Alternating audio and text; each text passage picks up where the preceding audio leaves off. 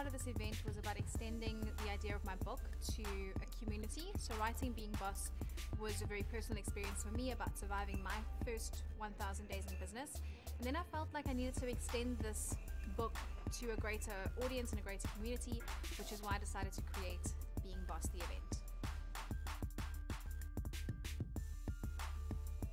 My advice to anybody that's wanting to start their own business and move out of employment is to start slowly. So, what I found worked a lot for me was starting off as a freelancer while still employed.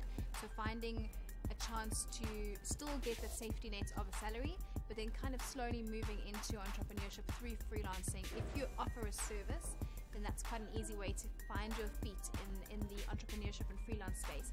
There's a lot of things that we need to learn to do as a business owner, which you don't really realize or take cognizance of when you and when you're employed. Things like invoicing and making sure clients pay, timekeeping, things like that that you don't necessarily take cognizance of as an as an as somebody that's employed at a company. So my advice would be to kind of dip your toes slowly into that freelancing space before making the leap into entrepreneurship.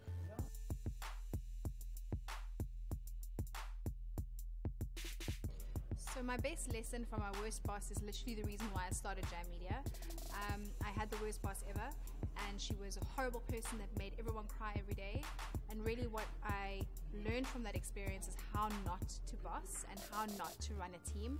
So everything I do every day is really about just being completely opposite to how that particular boss was. So my biggest lesson around that particular place of employment was how to build an amazing winning team and how to strive to be a leader that makes your environment feel safe while they're at work.